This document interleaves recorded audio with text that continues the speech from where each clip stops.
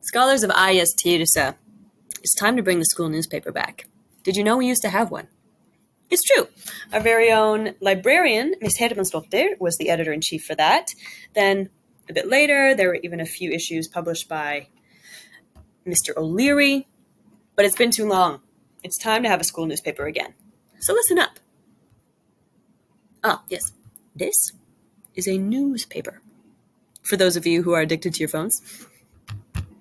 All right, what every newspaper needs is a newspaper staff.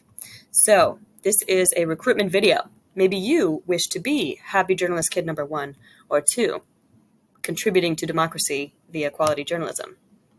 So, uh, listen up. All right, what would the time commitment be if you were to join my newspaper staff?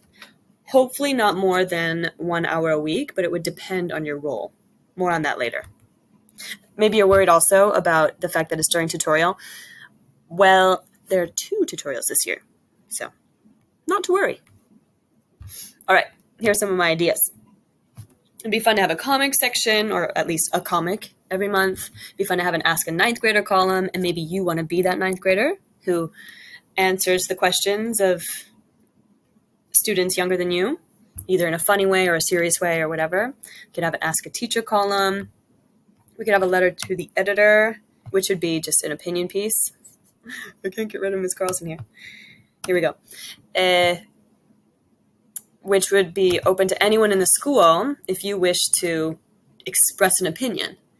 If you write it well and if you make a good point, your opinion could be published for all the school to read. It'd be fun to have a poll of the month. So data would be collected during mentor time, and then results would be published in the newspaper. It'd be fun to have a puzzle or Sudoku of the month with the answer published in the next month's edition. It'd be nice to have a special interest story or two, like from Student Council or IS or Tiedusa or Hani or something. It'd be fun to have an entertainment review. And we're definitely going to have a monthly book recommendation from the aforementioned li- librarian. Be nice to have a monthly health tip from the school nurses, artwork of the month, story or poem of the month. This could be collected via school-wide contest or just recommended by art teachers or English teachers or Swedish teachers. We'll see. Editors' picks, songs we like. So there will be a few editors, a few upper school students, and me. Just so you know, my editor editor's pick will definitely be something along the lines of Afrobeat with juicy bass. Be nice to have an, a guest article. It'd also be fun to have fake news, like a satire piece. Some of you may have heard of The Onion. It's a really funny fake news newspaper.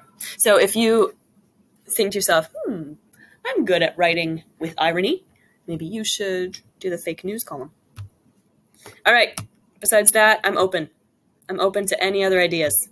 So come check it out if you are interested. Here are the roles I'd like to have. I need three editors probably, besides myself, and then a bunch of journalists. So I'm thinking the editors would be upper school kids, and um, journalists, you'd do other articles like the fake news article or maybe you would just you would be responsible for going to the nurses or emailing them to ask for the monthly health tip that kind of thing all right. Here's the plan as well. We'll prob- probably be black and white because that feels more newsy. Big paper one page um, unless we have more content. I just don't want to mess with staples you know what i mean? Five copies per class would be distributed during mentor time which would require child labor, but I'm okay with that. Although you wouldn't be paid, so I guess it's like slavery. I'm also okay with that. We would print extra copies and have them in the library, probably also reception, and then we'd publish a digital version on Schoolsoft. All right. Maybe you're concerned. Maybe you're like, but I don't know how. I don't know how to write a newspaper article. Scholars, I'm a teacher. I will teach you. But let's be honest, ninth graders, you've already learned a lot about how to write articles, especially newspapery things. And eighth graders, you're going to learn nowish uh, very soon. So you're empowered, or will be soon. Oh, you could be like these famous journalists Lois Lane, Clark Kent, aka Superman. You could literally be Superman. Okay, figuratively. So, think about it. Consider checking out uh, what it would be to be newspaper staff. Uh, a week from today, September 4th, during tutorial time, BO3.